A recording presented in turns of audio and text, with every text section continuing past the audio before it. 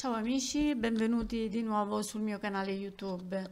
Guardate che belle spighe, queste le ho colte proprio in un campo di grano, ma sono diverse una dall'altra, quindi non so che tipo, credo che ci sia anche la segale e, ed altri tipi, il grano eh, Khorasan ad esempio.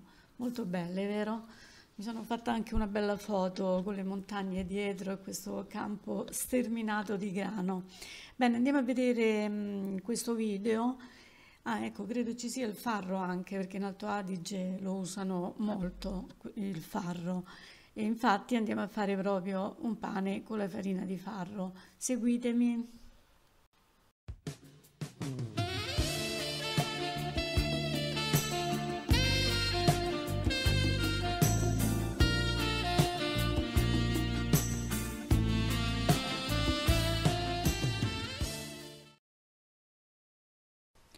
Per fare questo pane userò questa farina bio eh, della Rieper eh, presa direttamente al mulino in Alto Adige e poi userò questa mm, macinata a pietra eh, del mulino Caporello. E ci metterò anche un po' di zero, ma poca, 100 grammi, giusto 100 grammi. E poi ho preparato 420 grammi di acqua, ma vediamo se ci vuole tutta, e il licoli che avevo rinfrescato eh, sono 90 grammi, 30 grammi di ligoli, 30 di acqua e 30 di farina e l'ho lasciato maturare.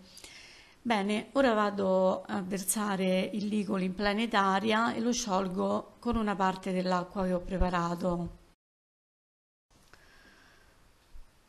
Bene, metto tutto in planetaria per farvi vedere, però poi faccio, eh, faccio girare. Eh. L'acqua, mm, vediamo quanta, quanta, ne tira perché eh, queste farine eh, non assorbono molta acqua, quindi vediamo eh, quanta, se ci vanno tutti i 420 grammi oppure un pochino di meno. Eh. Quindi con l'acqua ci regoliamo sempre in base alle farine che usiamo. Ok, aggiungo ancora acqua vado diretta senza fare autolisi eh. qui fa ancora caldo. Ok. E adesso faccio girare. 10-15 minuti il tempo che ci vuole. Finisco di mettere eh, l'acqua piano piano così mi regolo. Io metto soltanto un cucchiaino di sale o mezzo cucchiaio come vedete però mh, mm, voi se volete mettetene di più, eh? io cerco sempre di metterne eh, poco di sale.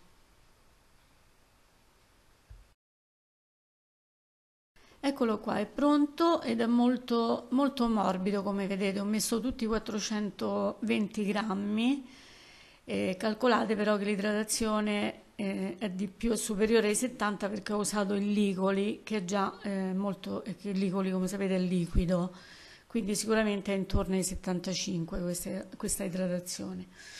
E faccio delle pieghe in ciotola, così, faccio riposare un pochino, poi una mezz'oretta e poi se volete continuare a fare un altro giro in ciotola, però adesso a me mi va di fare questo, faccio un giro di pieghe eh, slap and fold, così per cambiare un pochino perché mi piace, mi piace questo movimento, vedete ancora appiccicoso, molto morbido, mi bagno un pochino le mani così, ok, tiriamo e poi pieghiamo, tiriamo, questo è, mm, sono delle pieghe che si usano eh, per gli impasti molto idratati, anche più di questo che ho fatto io, eh.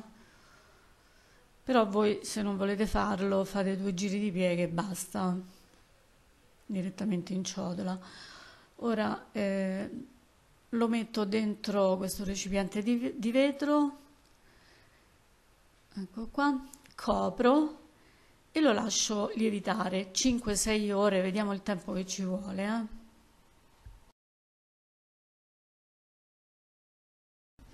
E qui siamo al raddoppio. Sono passate all'incirca 5 ore, però calcolate che fa caldo, quindi se fate questo pane in inverno magari ci vorrà un pochino di più. Scusatemi la voce. Ora lo verso sul piano di lavoro, ci metto poca farina, non molta, e lo faccio scivolare eh, giù.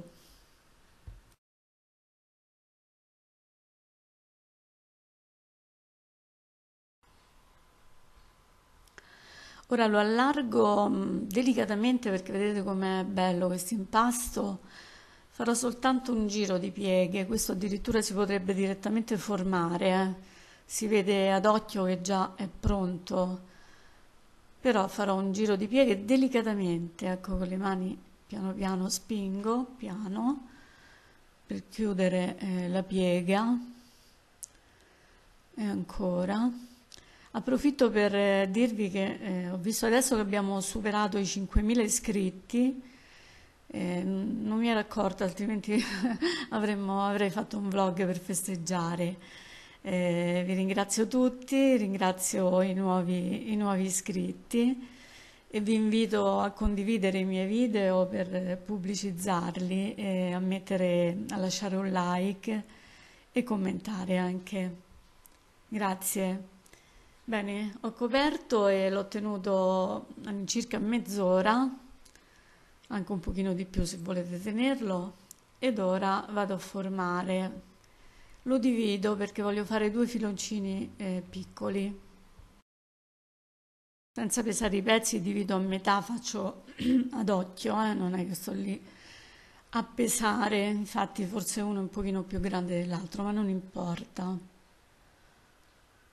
poca farina per aiutarmi e, e, lo chiudo per formare questo, lo allargo un pochino prima, ma voi fate come volete, potete fare anche una, una pagnotta, un filone intero, soltanto uno, come volete. Io procedo così, piego i lembi e formo questo eh, filoncino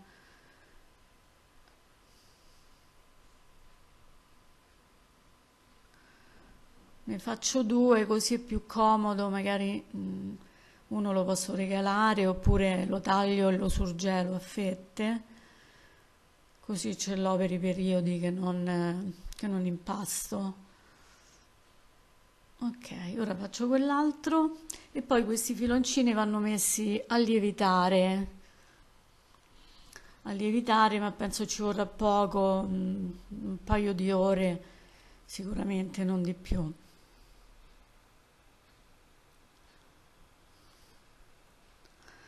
Bene.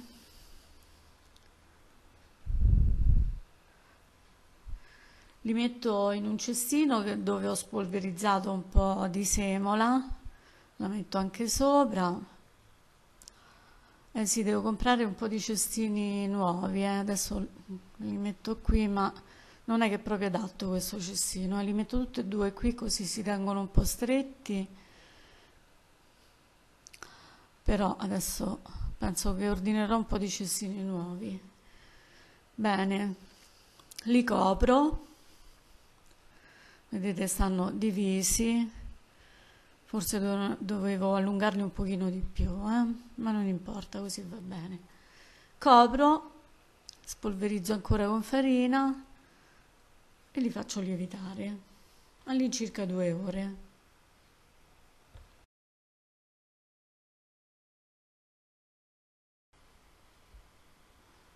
mi controllo bene la lievitazione mano a mano, quando è quasi pronto accendo il forno per farlo scaldare bene con un pentolino di acqua. E come sapete la cottura i primi eh, 15 ma anche 20 minuti, poi togliamo il pentolino così eh, la crosta diventa più spessa.